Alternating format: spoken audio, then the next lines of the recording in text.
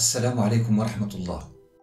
سنتعرف خلال هذا الدرس على نوع مميز من الأفعال في اللغة الفرنسية. يسمى les verbes impersonnels أي الأفعال غير الشخصية. فما هي هذه الأفعال وكيف نتعرف عليها؟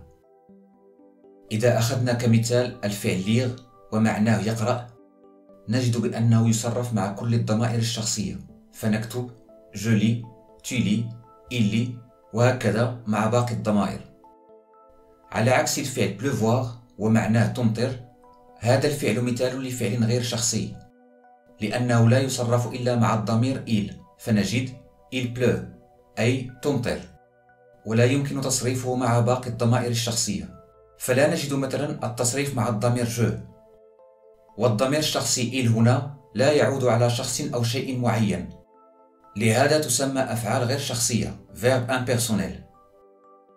كمثال آخر لهذا النوع من الأفعال نجد الفعل نيجي ويعني تثلج أو تتساقط الثلوج. كأن نقول مثلا إلى نيجي توت أي تساقط الثلج طيلة الليل. وكما قلت سابقا فالضمير الشخصي إيل لا يعود على شخص أو شيء معين. وهذا النوع من الأفعال غير الشخصية يسمى verbe essentiellement impersonnel أي أفعال غير شخصية أساسا. وهناك النوع الثاني الذي سنتعرف عليه بعد قليل.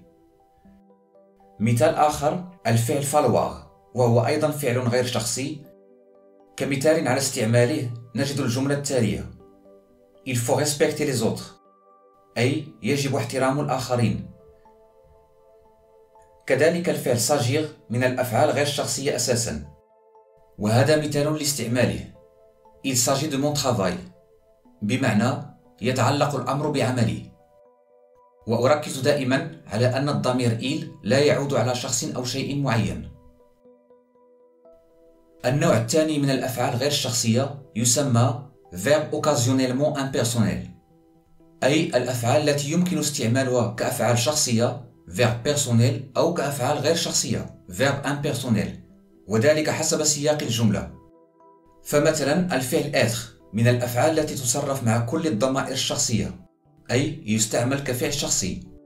يمكن استعماله كذلك كفعل غير شخصي. كما في الجملة Il est important de faire du sport أي من المهم ممارسة الرياضة. والضمير إل هنا كذلك لا يعود على شخص معين. بنفس الطريقة يمكن تصريف الفعل فاغ مع كل الضمائر الشخصية كما يمكن استعماله كفعل غير شخصي. كما في المثال التالي. Il fait beau aujourd'hui. أي الجو جميل اليوم. نضيف مثالا آخر مع الفعل سومبلي فنجد Il me semble que le train soit en retard. أي يبدو لي أن القطار سيتأخر. ومثال أخير مع الفعل arriver في الجملة Il m'arrive d'oublier mes clés. بمعنى يحدث لي أن أنسى مفاتيحي. أتمنى أن أكون موفقا في تبسيط هذا الدرس. شكرا لمتابعتكم وإلى درس آخر إن شاء الله.